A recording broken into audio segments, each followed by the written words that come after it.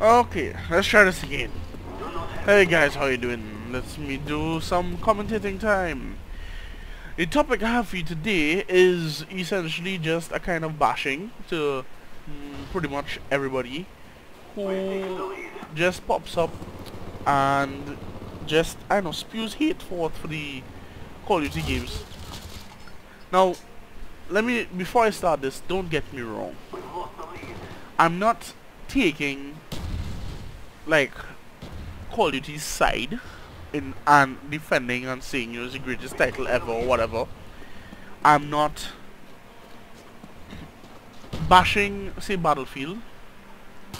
Even though I do have to mention that a lot of the people who make such comments do also include that Battlefield 3, specifically Battlefield 3, is a better game and a uh, more in-depth game or whatever.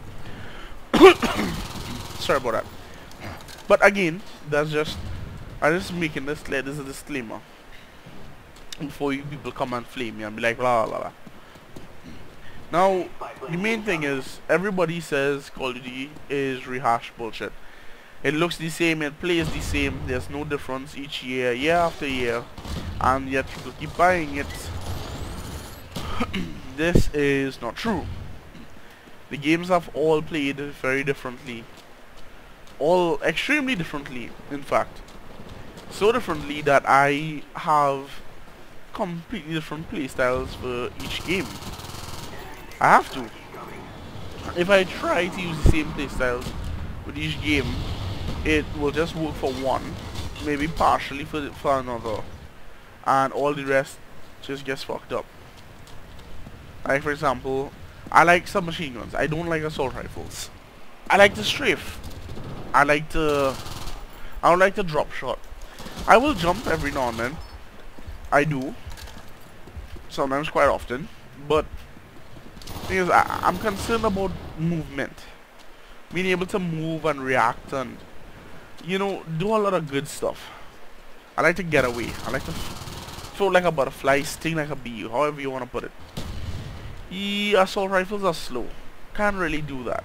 It granted the walking speed is not much slower than submachine guns, but they have a shorter sprint speed in this game in Modern Warfare 1 in World at War in Modern Warfare 2 and Black Ops in Modern Warfare 3 it doesn't matter you sprint for 4 seconds in terms of sprint length you just sprint for 4 seconds regardless of essentially any gun that you have out. There's just your sprint speed will, you know, affect the distance you travel, but you still sprint for the same amount of time. Which I find is really retarded because, you know, putting on a pistol and stuff does absolutely nothing. But I digress. That's what I like. I like nice good stuff. I I find that everything is quite different and I'm I'm quite happy with the way that the differences play out. Like Black Ops, I can't use Black Ops tactics in Modern Warfare 2. In Modern Warfare 2, I just grabbed Marathon. Once I got Marathon as my first book, essentially, I'm set.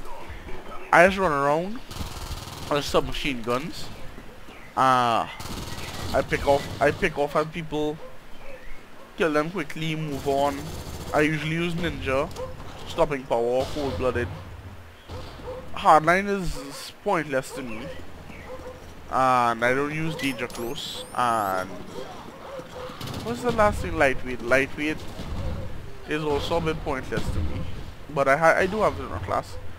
But you know, as I'm saying, you gotta you gotta understand, it's not only the same game. COD 4 was substantially different from Warfare 2. When Warfare 2 came out, it essentially rocked the world. Everyone's like, oh my god, this is so different. World at War was decidedly a lot more similar to COD 4 than Warfare 2 was. You know, they had a very severely limited amount of... Uh, so yeah, a limited amount of gun attachments. A few decent guns. Uh, they did their own thing. They kept the the the essential general perk layout.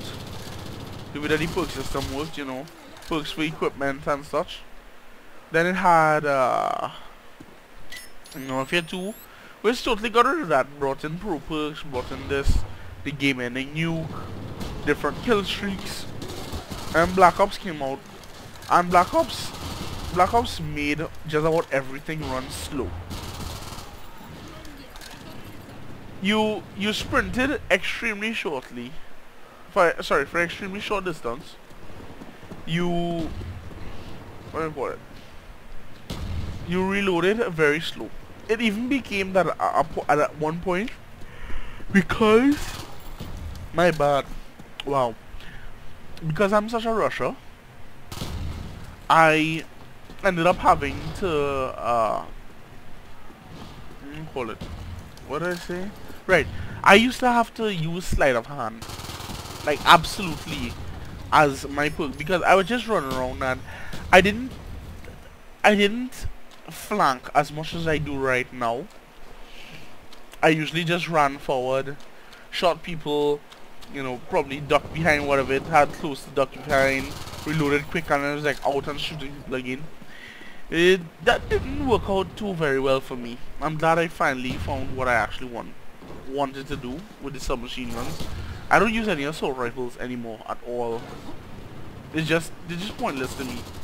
I, I move too slow, I can't strafe quickly, I I rather sacrifice the long range distance, long range distance capabilities, just for that. But, alas. And then they have Modern Warfare 3 with different strike packages and different this and they changed up the way a lot of the perks and stuff worked. They split up the cold, essentially cold-blooded perk, which was Ghost in Black Ops, Cold Blooded in Modern Warfare 2, into two different perks, which was never there before. The essentially assassin perk was always there. You just wouldn't be seen on radar, you know. It prevented you from blocked you from radar. the other additions you know, protecting from air support and stuff were only added in uh, Modern Warfare 2 and Black Ops. And they made that entirely, entirely different perk and an entirely different tier. So, they tried stuff new. Now, I ain't saying that, as I say, I'm not saying they're the best games ever, I'm not saying they're the worst games ever. All I'm saying is, if you haven't played the damn game for more than, I don't know, maybe an hour or something, and you have no idea how the hell the game actually is supposed to work or how different or alike it is to the newer games then don't make a comment after all I've just said you know look Black Ops 2 is supposedly going to use a point system first class depending on what guns and attachments and perks and stuff you pick will depend on how fast you fill up between the maximum amount of points that you can use to build a class so you could go with all perks and have no gun, just a knife. You could. Again, I'm so sorry. I'm really tired. Yeah, again, you could go with one perk and a bunch of like tricked out guns, two primaries with two attachments on each, and a whole bunch of other good stuff. All that, all that, you know. And the last thing well, so yeah, so you as you can see, it's it, it is pretty different. It will be pretty different. I am waiting. I wanna. I want. I'm actually anxious to see what it's gonna be like.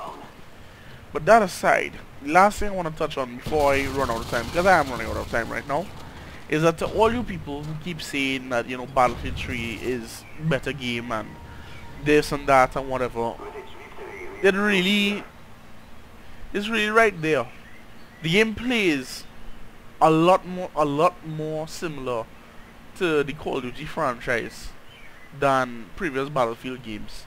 And here's the scoreboard. So if that's what you're thinking of, you know, using in your argument, then I suggest you drop it because if you wanted a game that was really like different from Call of Duty and stuff, play something like Bad Company 2. See how much you like that game over this Battlefield 3 that you that you see that everybody seems to love. But anyway, that's the end of my commentary. I'm out of time. I hope you guys liked it. I hope you enjoyed. Watch favorite, you know, like, favorite, subscribe, whatever you want. And I will see you guys next time. I know it kind of dragged on at the scoreboard screen, but oh well. Have a good time, everybody. Laters.